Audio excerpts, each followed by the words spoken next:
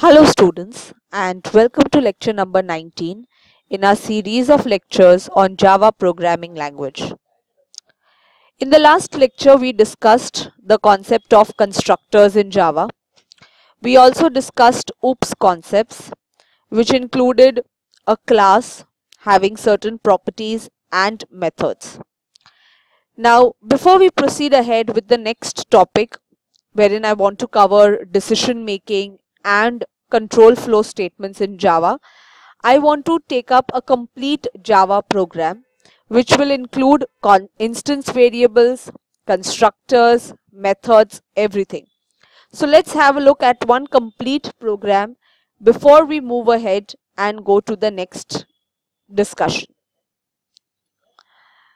So here as you can see on the screen I have given a question program to demonstrate um, a class which will include instance variables, constructors as well as methods. So here let's have a class by the name of uh, let's say simple interest.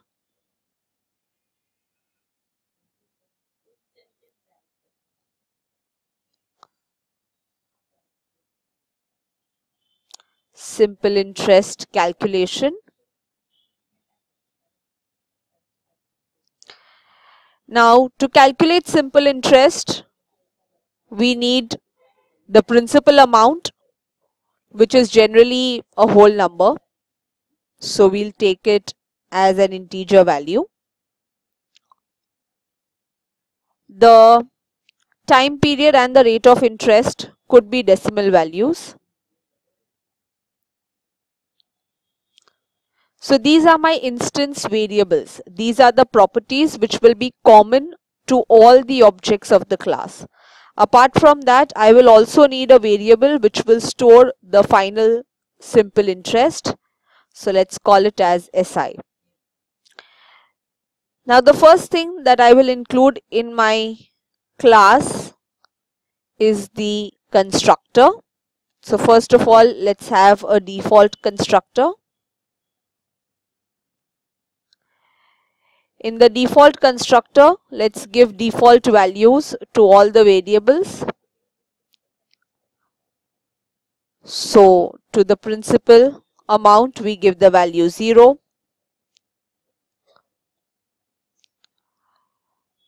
To time, also we assign the value 0. Same goes for rate of interest and same goes for the simple interest. So default values to all the variables in the default constructor. Now let's have a parameterized constructor.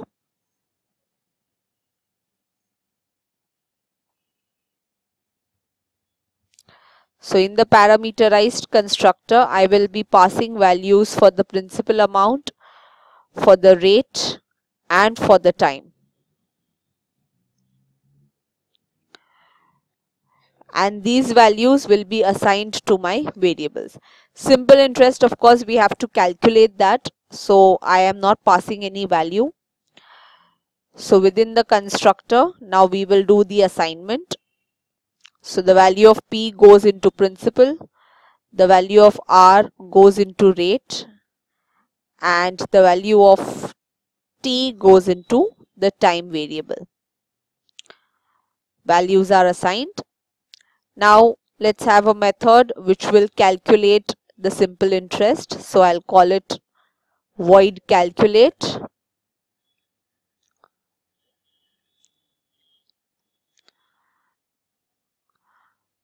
So in this function, you will calculate the simple interest as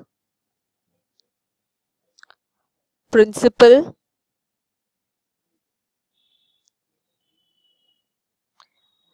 multiplied by the rate of interest multiplied by the time and the whole thing divided by 100.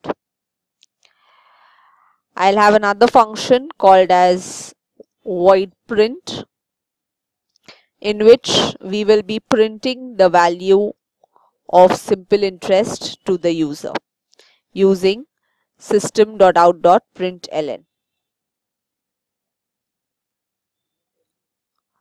So let's put the statement as simple interest is and the value of SI.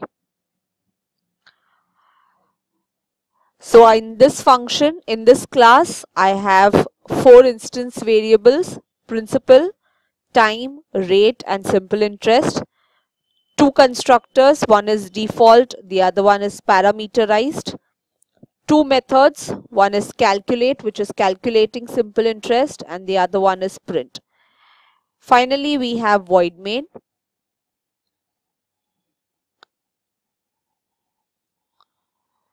to which you are passing a string array.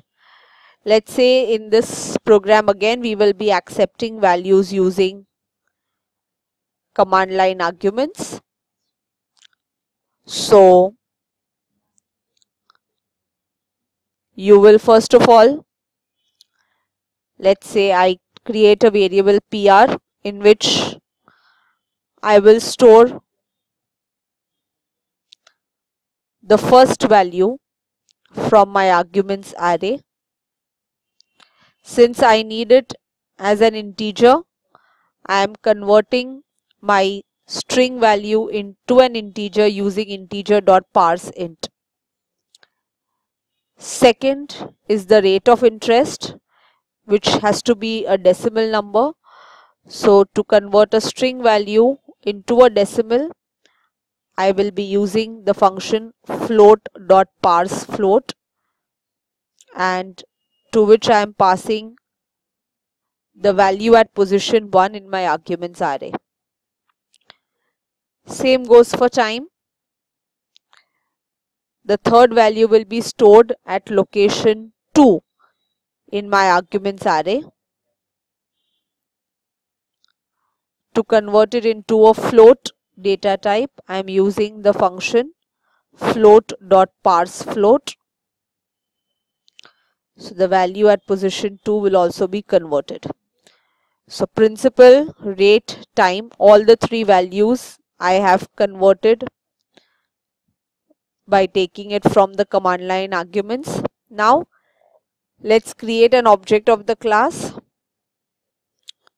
so simple interest calculation, that's the name of my class.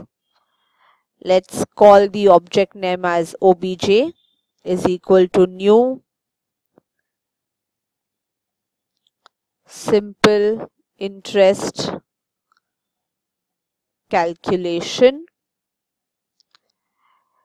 Now when I'm creating the object, I'm calling the parameterized constructor since I'm calling the parameterized constructor, I have to pass, three values, principal, rate and time, which I'm doing. This is calling this function. The value of PR will go into P. The value of RA will go into R.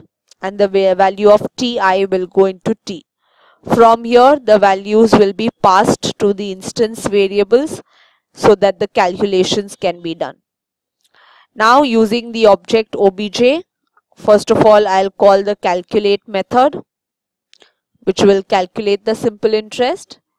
And finally, we will be calling the print method. Let's change the name of this method from print to another method so that uh, it doesn't.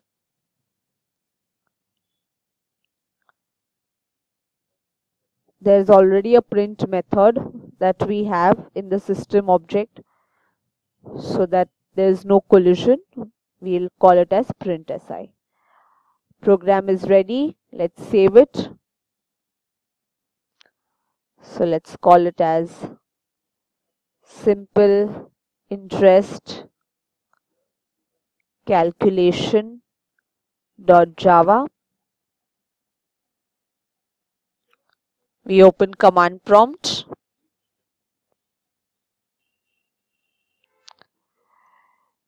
We'll first of all enter into our folder. So I'll copy the path. Cd that is change directory paste the path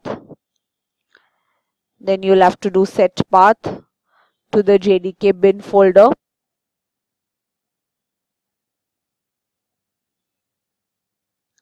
So in C drive program files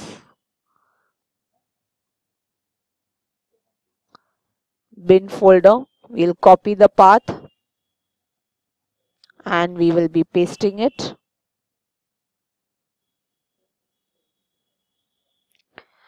now let's compile. So javac. Simple interest calculation dot java. No errors. Now let's execute. Simple interest calculation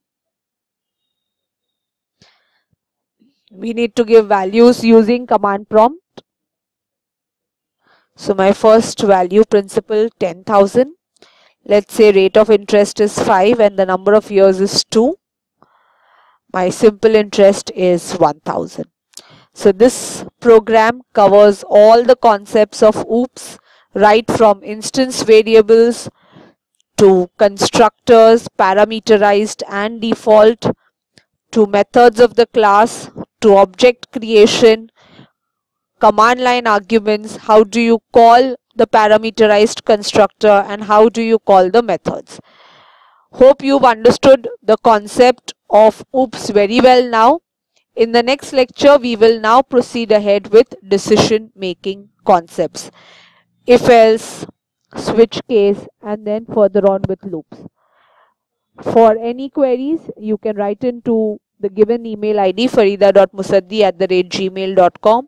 Thank you for watching my videos please like and subscribe my channel because I'm trying to give in-depth and conceptual based learning to my audience. Um, for more videos on my channel, please subscribe to it. Thank you so much.